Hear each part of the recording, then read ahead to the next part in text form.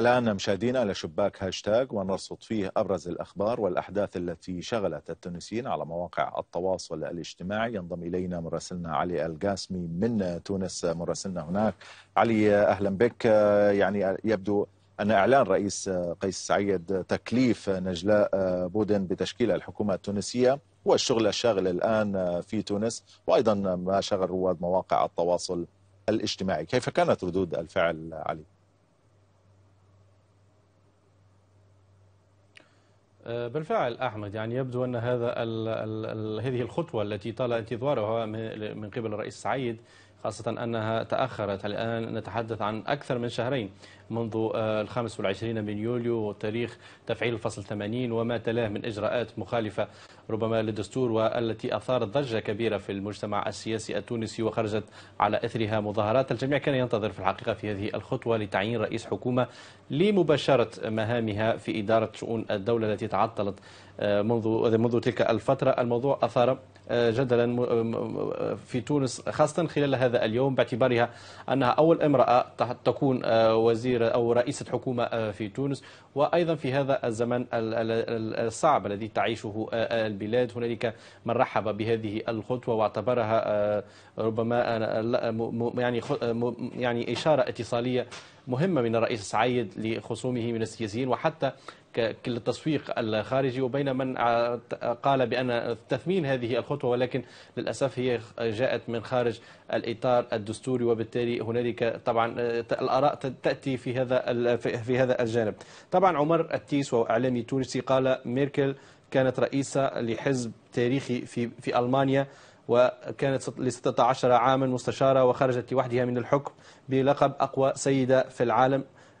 نحن نريد مسؤولة سياسية حتى رئيس لتطبيق سياسة سياسته العامة. التو ما سمعنا صوتها وحتى سيرتها الذاتية لا نعرف عنها شيئا بخلاف نقاط في نقارنوها بها. أي شبيه تحبوها بميركل نمشوها نمشوها أنجيلا ميركل بودن حرم برمضان. بمعنى أنه لا تجدر تجوز الإشارة أو تجوز المقارنة بينها وبين أنجيلا ميركل المستشارة الأمريكية. نبيل الشاهد وهو إعلامي تونسي أيضا قال أتى لهم برئيسة وزراء متخصصة في الجيوفيزياء وزلازل لكي, لكي يكون زلزال سياسي وانقلاب ناعم على قاعدة. والأهم أنه لا يوجد عليها أي معلومة حتى في محرك البحث جوجل السرية والغرف المغلقة في في طريق مفتوح يعني للعمل بطريق مفتوح. أشرف عوادي وهو رئيس منظمة اي واتش في تونس قال نجلة بودن مرشحة هي مرشحة السيدة الأولى لرئاسة الحكومة وهنا السيدة الأولى هي إشراق شبيل رئيس حرم رئيس جمهورية قيس سعيد لرئاسة الحكومة رغم معارضة محيط الرئيس ستكون بشيش جديد. الجميع نصحه لكنه اختار أن يأخذ هذا القرار بالتالي سيتحمل مسؤوليته وحده مؤسف أن التعيين بالصداقة ولكن الكل ولكننا جميعا في نفس القارب نتمنى التوفيق وكالعادة سننصح سننصحها بصدق ولكن سنراقبها. أيضا الرئيس لم يتعلم شيء من التجارب السابقة.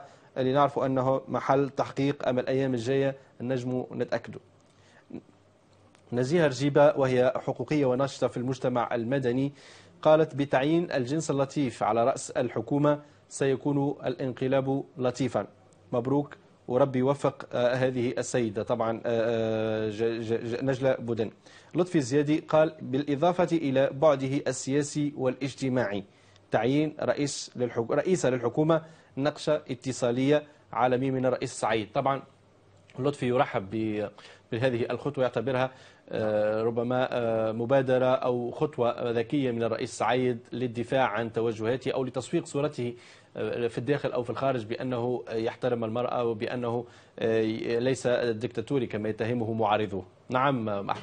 آه علي قبل قليل في شباك الشارع استطلعنا آراء المغاربة في قرار فرنسا تقليص عدد الإشارات لدول التأشيرات عفوا لدول المغرب الجزائر وتونس آه في تونس كيف كان التفاعل على هذا القرار الفرنسي؟ بالفعل يعني هذا الموضوع أثار أيضا جدل كبير في تونس. طبعا الجميع ندد بهذا الأمر ولكن الموقف كان من تعاطي الرسمي مع هذا القرار باعتبار أن الخارجية التونسية وحتى الرئاسة لم ترد في هذا الإطار. الإعلامي سمير الوافي قال بأن فرنسا تقرر تخفيض في نسبة الفيزات الممنوحة لدول المغرب العربي تونس والجزائر والمغرب وتتشدد في منحها لمواطني هذه الدول ردا على عدم تجاوبها مع قرارات الترحيل مهاجريها الغير شرعيين. الجزائر ردت على فرنسا ببيان قوي يرفض القرار ويتوعد التصعيد والمغرب ردت على القرار الفرنسي بتصريح صارم لوزير خارجيتها يندد بالقرار ويطالب بإلغائه فيما في المقابل أن تونس صمتت ولم تجب أو لم تكن لها لم يكن لها حد لديها أي موقف حتى الآن. سارة وهي ناشطة حقوقية قالت ردود فعل البلدان المغاربية على قرار فرنسا. الجزائر غضبت وقالت سنتعامل بالمثل ونحن ما راحش نعطي فيزا. المغرب عملوا تصريح وقال أن هذا القرار غير مبرر لمجموعة من الأسباب. تونس مخاطبكم غير موجود في الوقت الحالي. الرجاء ترك رسالة.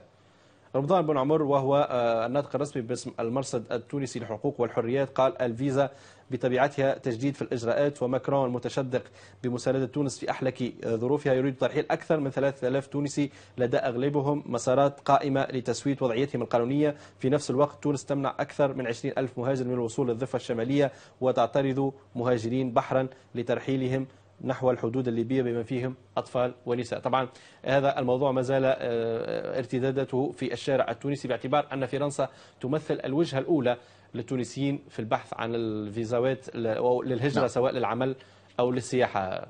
محا أحمد. علي القاسمي مراسلنا من تونس. كنت معنا في شباك. هاشتاج شكرا لك.